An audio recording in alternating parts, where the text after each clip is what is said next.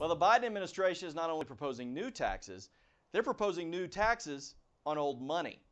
We'll talk about that, plus our one on one with Toby Mathis today on the BizPo Show.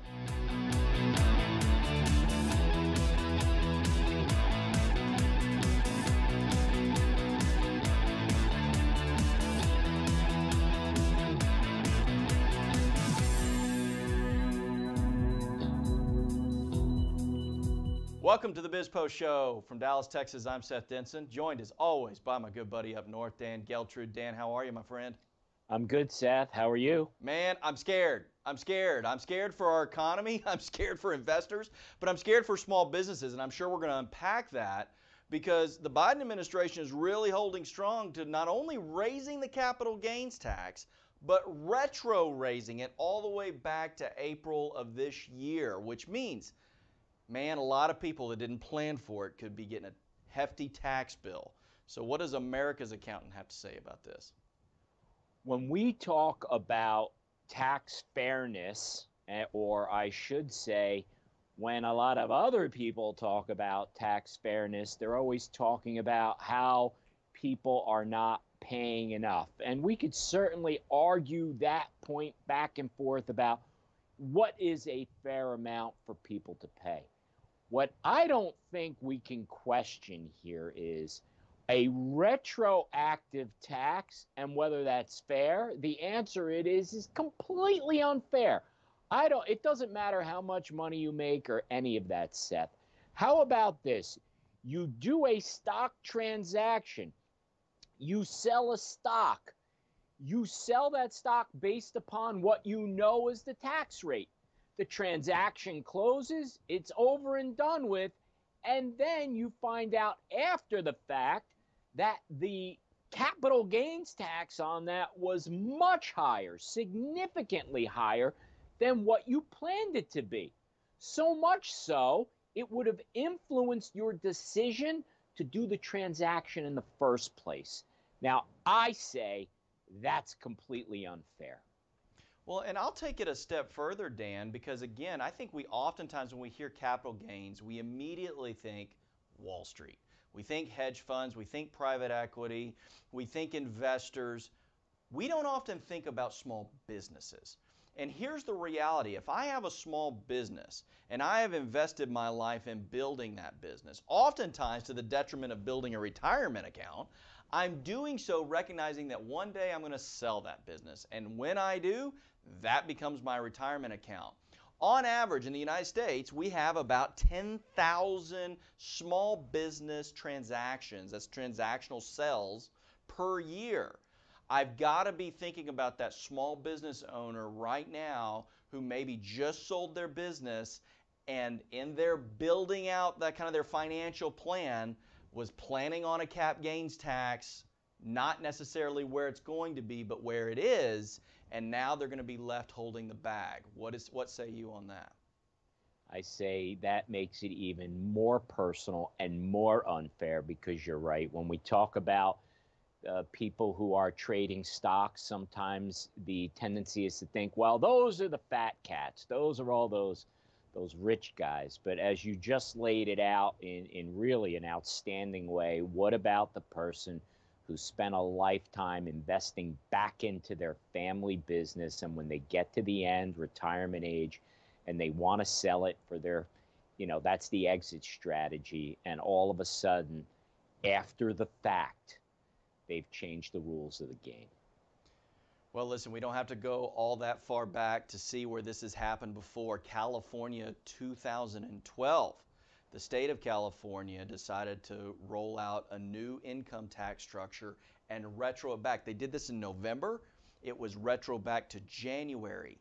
Fast forward to today, California has more debt than any other state, double the debt of places like New York. Uh, I don't know that I love the idea that the federal government is now taking its tax cues from the state of California. Nonetheless, this is going to be an ongoing topic. I got to think, since we've got America's accountant, we're going to be talking about it a lot. Hopefully, we'll be talking about this not happening. But nonetheless, Our guest this week, man, he's fantastic. Uh, if you are an investor or you're considering being inve- an investor in something, you're going to want to really hear what Toby Mathis has to say, and he'll join us right after the break.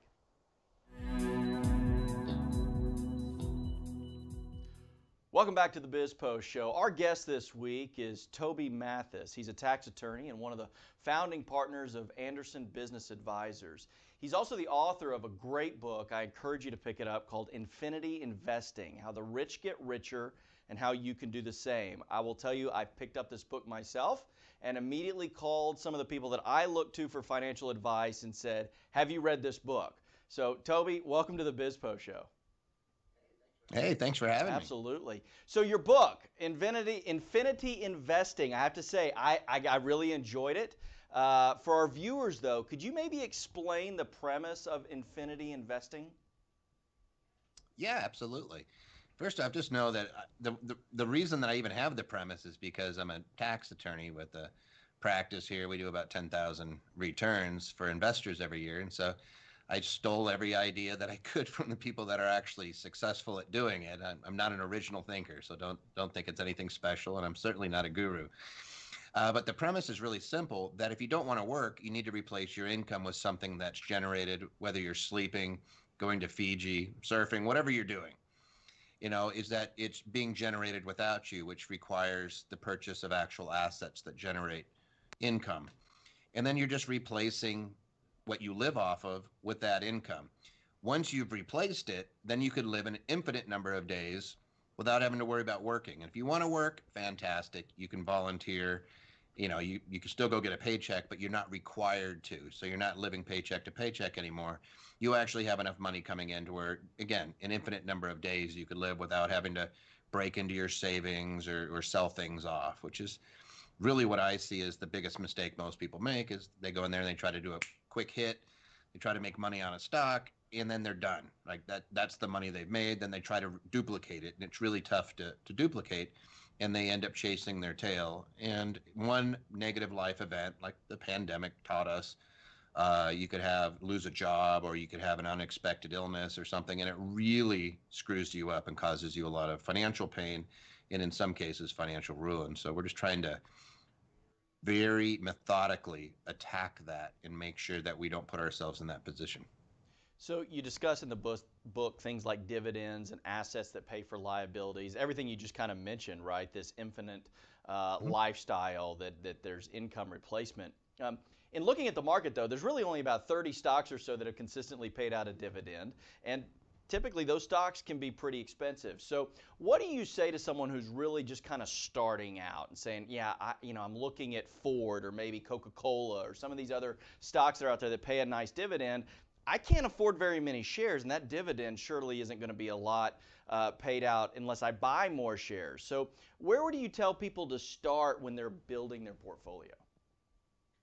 Yeah, absolutely. It's a great question, and it, it's something that that I address extensively both in what we teach and in, in, in what's in writing, which is to create a systematic approach. Like you're going to be doing something repeatedly over time. So don't expect a, a quick, you know, get rich quick. It's going to be building the correct type of portfolio and knowing that every time I put a brick in place, I'm not going to be removing it anytime soon. It might be there for 200 years. So if I do buy a Coca Cola, which has been paying increasing dividends, for more than 50 years. In other words, every year more money gets paid out to their shareholders than the previous year. If you have one share, every year, if it's 10 cents one year, it's 11 cents the next, it's 12 cents the next. It's been increasing for 50 plus years. All you're doing is putting that in place so that if you do this consistently over a long enough time horizon, you're guaranteed to have financial independence at some point. So even though when you're beginning, you say, oh, you know, Coca Cola is right around 55, 60 bucks all the time oh, that's really expensive. Well, you start there and you pick up shares. And I'm not saying go out and buy Coca Cola. I'm saying you are going to buy something that's similar that's been paying an increasing dividend for at least 25 years. And so you're you're dead on. There's probably only about 60, 30, 60, depending on what time horizon you use, that even fit the the mold. And then out of that 30, there might be only two that are really a good buy right now. It makes the market get really small, really quick, and you're buying it for the income that it's producing, not hoping that the stock goes up. not praying, you know, hold and pray. Oh, I hope it goes up someday so I could sell it and make money. No, you're buying it to generate income. And I don't even want you to look at the value of that stock in the future. I want you to look at what it's generating. Toby, you're a tax attorney and I'm America's accountant. So I wanted to just bring up a couple tax related issues. Now, Joe Biden is proposing some, well, pretty heavy duty increases in capital gains. And what I personally find most disturbing is he wants to make that retroactive going back to April of 2021. So, what's your take on how that's go if, if that does happen? What kind of impact do you think that's going to have on the market? Really interesting point there about having a retroactive tax. There's people that say it's been decided, and there's there's actually cases. I believe the case that they usually rely on actually says you can't make retroactive criminal laws, and therefore the civil stuff is still open. I don't think it's ever really been tried at the Supreme Court level as to whether that's constitutional or not, regardless of whether they apply it. So let, let's say that they do. And there has been situations where they have applied a retroactive tax, but it, I don't believe that they were contested, and I don't believe that we had final resolution. But let's just say that they can do it. What is it going to do? It's only going to affect people that are making capital, uh, have incomes over a million dollars, first off. And those people can afford accountants who are going to show them what easy ways to avoid the tax anyway. So I don't think it's going to have that big of a play. The one that interests me more is the increase of the corporate tax. And it's a fundamental misunderstanding by most polit- politicians as what that impact really is. You go ahead and you increase corporate taxes. First off, you should say, how much of an impact is that really going to have on our position as a country? Like, they always kind of play funny math, but at the end of the day, corporations pay about 7.8% of the total taxes in this country. It's not a huge amount, right? So if I if I was if I was going to double that and I was going to say let's really hammer the corporations, that's still a pretty small amount when you talk about these massive uh, spending increases. It's really not going to get us there.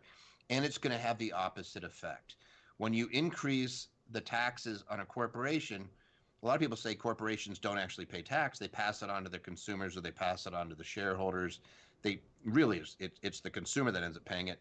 And nowhere is that more evident than when you talk about utilities, where the tax expense is something that they pass on directly to the to, to the consumer which happens to be everybody right? Everybody's using the electrical grid. Everybody's using utilities. So it's not fair to say we're raising taxes on corporations. What they're really saying is we're raising taxes on you. Well you're you're also talking about some people in congress having common sense. That that is becoming uh, more rare, unfortunately, than we'd like. Uh, now, let me let me just shift over to uh, you know, what's been going on in the stock market. There's been some a lot of ups and downs related to stocks like AMC and GameStop. So, what what's your advice to investors who see that? Shiny object out there when they're hearing about these stocks like AMC rising 3,000%. Well, what do you tell them about that? Uh, I tell them the same thing that I say to people that come and visit my city. I live in Las Vegas. And I say that blackjack is a lot of fun to play, but you could lose all your money doing it. And if you play it long enough, the stats are not in your favor. You're going to lose all your money. In other words, there's there's these billion dollar buildings down there that were built because people leave their money behind, not because they're taking all the, the, the casino's money with them. So it's not an investment. It's gambling is what it is. And it can be fun and you could have fun with it. Like, hey, I'm going to be part of the social revolution and I'm going to stick it to the hedge funds that are trying to short these companies.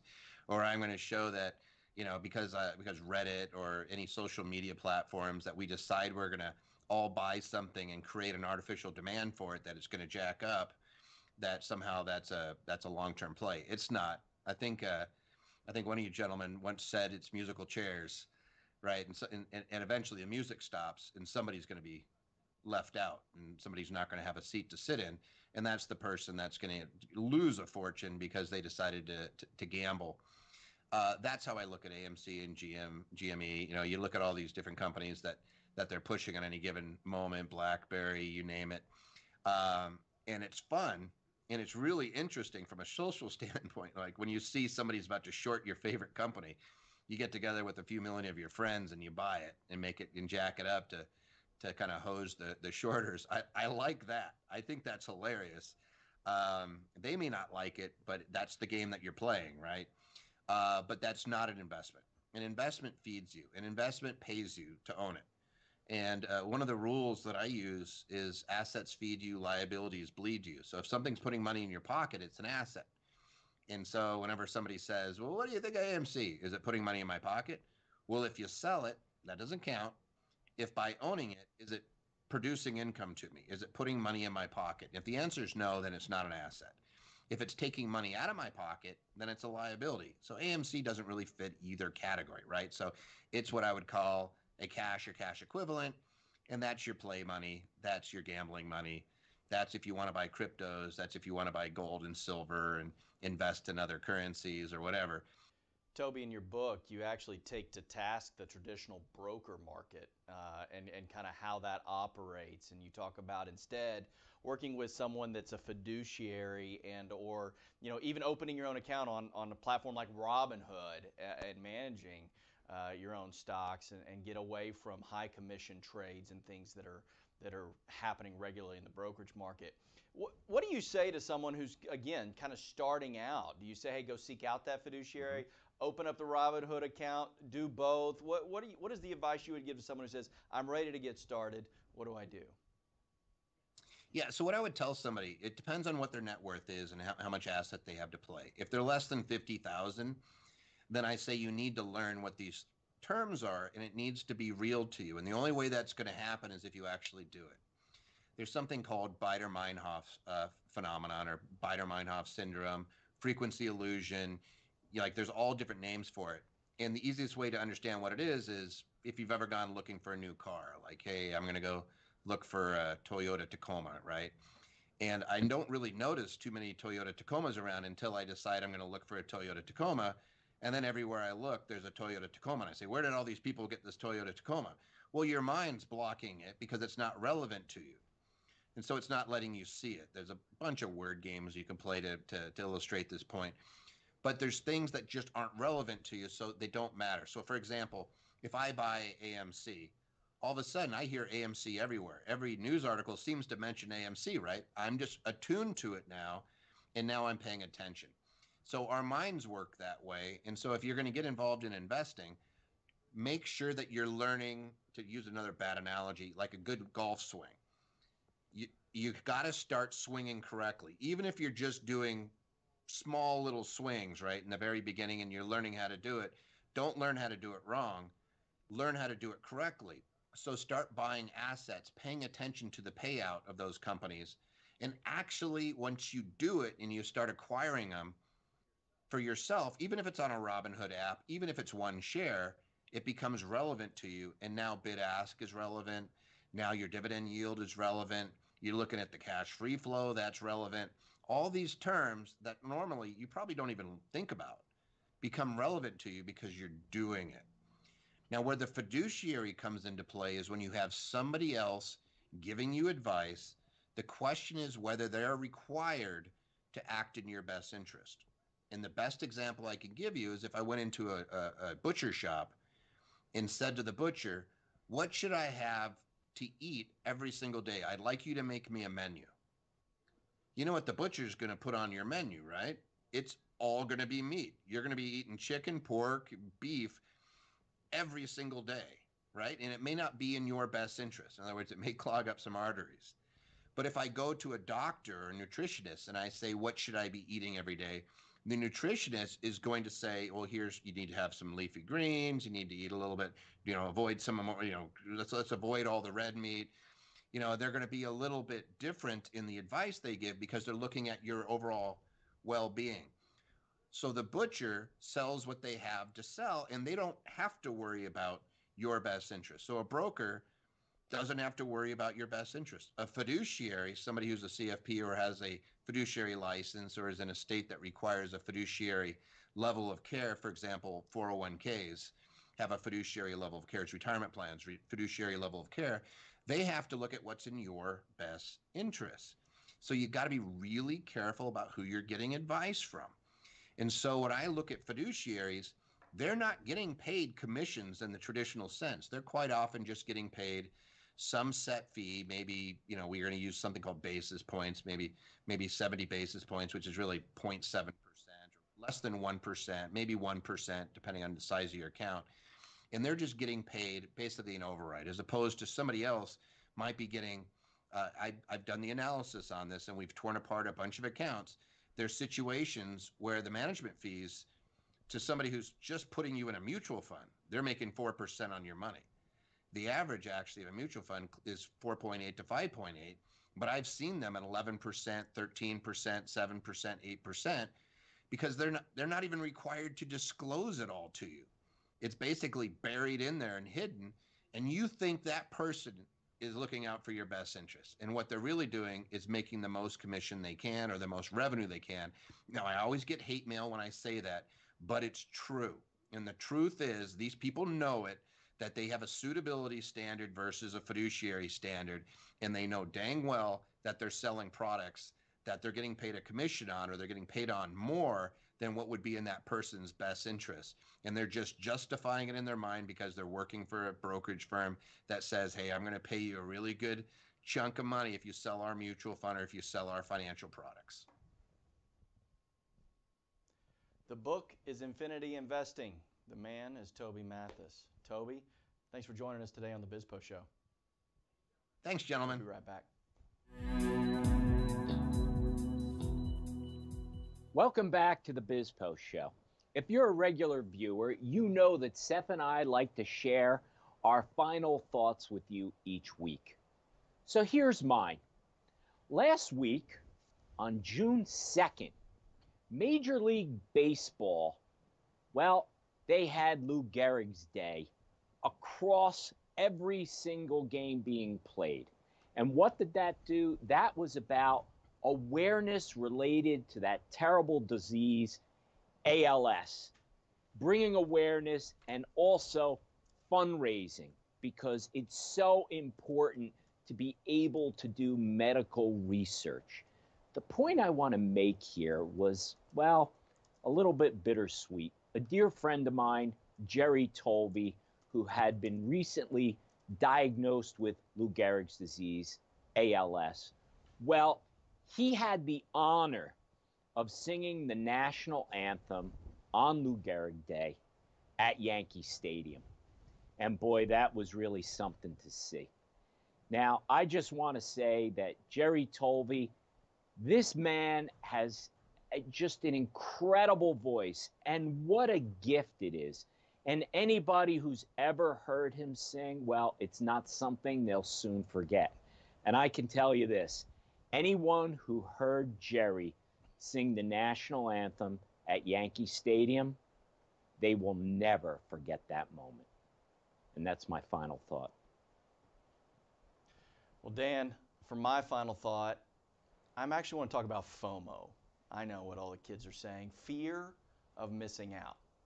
This not is a, is a symptom that not only uh, plagues our investments, but it also plagues our careers, our families, and oftentimes even our own personal happiness. Fear of missing out is what's driving things like GameStop and uh, AMC and the crypto craze. It's this idea that I can get ahead by following the crowd. And so, my final thought this week is to really challenge that and maybe give you some words that my father told me as I began my career.